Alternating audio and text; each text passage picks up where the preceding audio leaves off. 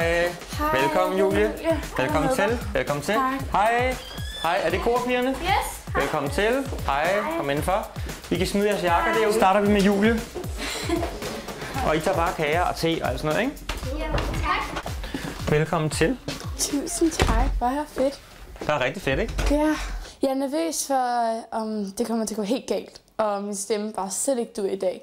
Og hvis jeg kan varme stemme op, om det så lyder virkelig dårligt, så det er jeg ret nervøs for. Jeg synes bare, vi skal komme i gang. Ja. Øh, og det vi gør, det er, at jeg starter lige med at høre dig synge sangen. Bare en enkelt gang henne.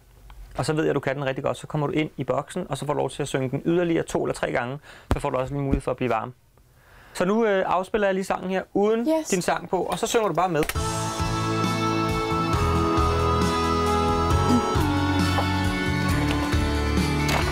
Om natten når stillheden rammer mit sind, triger tårne stille på min. Jeg har tænkt på, om sangen er sådan helt anderledes, og øh, om det kommer til at gå fint, og om min stemme kommer til at lyde underligt. Fordi det her er ikke bare sådan en normal studie, sådan virkelig sådan professionelt, så det bliver spændende. Så fedt, Julie. Tak. Det er virkelig, jeg synes virkelig, du synger godt. Det bliver skide godt. Der sker ting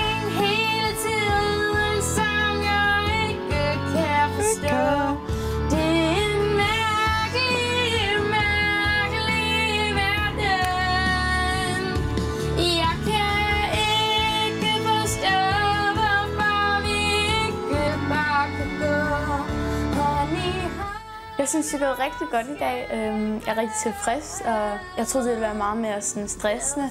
Men det er meget mere afslappet, end jeg havde troet, og det er super fedt. Jeg kunne ikke, jeg kunne ikke være mere tilfreds. MGP.